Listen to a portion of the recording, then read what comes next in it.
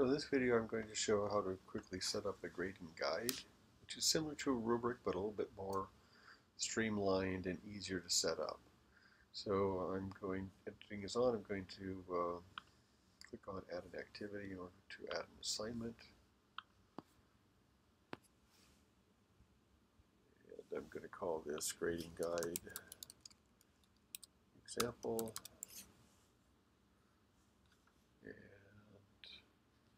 Go with the defaults, except I'm going to change the grading method from simple direct to grading guide. Click Save and Display. Moodle will create the assignment activity and will let me know that there is not yet a grading guide attached to this assignment. So I'm going to create one from scratch.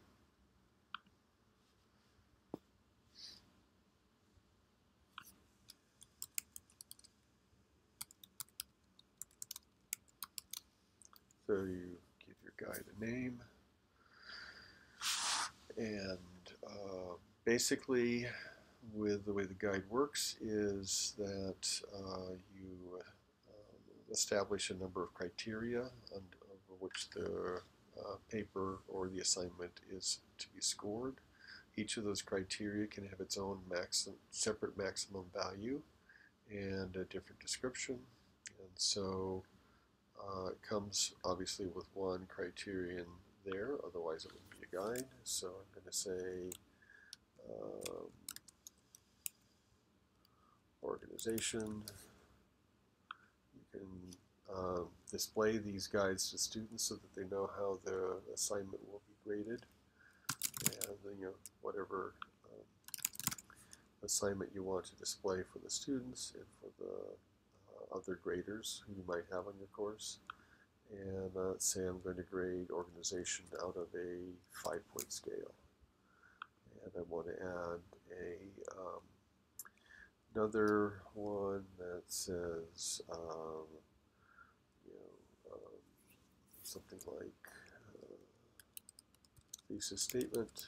Is there a valid thesis statement?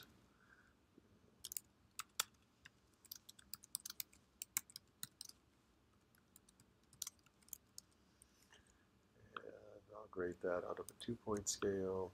I can add another criterion, which is uh, writing style.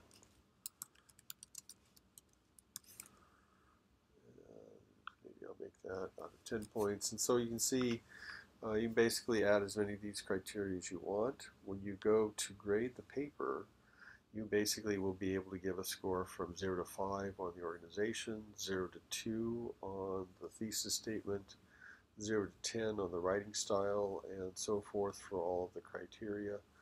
And then Moodle will take these relative scores on those different scales and um, calculate a percentage of the total possible points. Say this is a 25 point paper.